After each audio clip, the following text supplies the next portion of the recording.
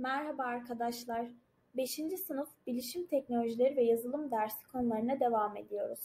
Bugünkü konumuz kelime işlemci programı dosya sekmesi. Kelime işlemciler bilgisayarda yazı yazabildiğimiz, yazıları düzenleyebildiğimiz ve yazıları yazıcıdan çıktı olarak alabildiğimiz programlardır. Günlük hayatımızda sıkça kullandığımız kelime işlemci programlarını bilmek, dijital okuryazarlığın temel becerileri arasındadır. Word bir kelime işlemci programıdır. Word dosyalarının uzantıları .doc veya .docx şeklindedir. Bu videoda Word'ün dosya sekmesinden bahsedeceğim.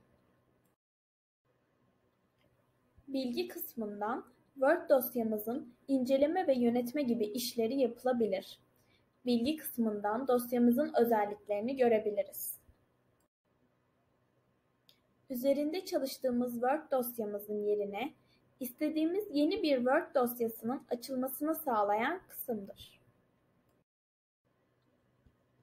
En son açtığımız belgeleri ve Word dosyası olarak bilgisayarımızda yer alan diğer dosyaları görebilmemizi sağlayan kısımdır. Word dosyamızın üzerinde yaptığımız değişikliklerin kaydedilmesini sağlayan kısımdır. Word dosyamızı farklı bir yere ve farklı bir uzantı ile kaydedebilmemizi sağlayan kısımdır.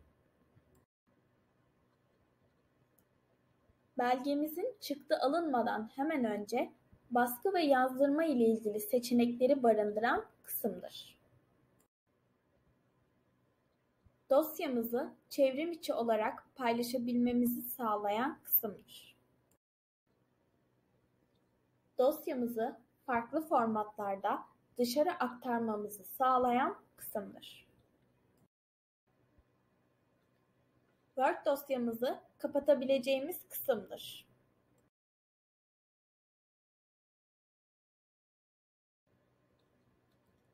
Ofis hesabı açabildiğimiz, hesabımız üzerinde değişiklikler yapabildiğimiz ve gerekli güncelleştirmeleri yapabildiğimiz kısımdır.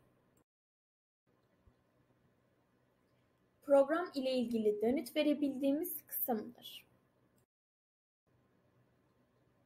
Word dosyamızda gerekli ayarlamaları yapabildiğimiz kısımdır. İzlediğiniz için teşekkür ederim. Bir sonraki videoda görüşmek dileğiyle.